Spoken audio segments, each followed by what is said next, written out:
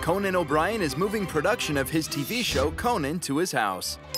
He has a tripod with flexible legs and universal clip. He has a stabilized camera stick with ergonomic handle. I have a show. And he has a handheld gimbal. With gyroscope servo. Conan is fully prepared for any technical difficulties. I feel like you're gonna break it.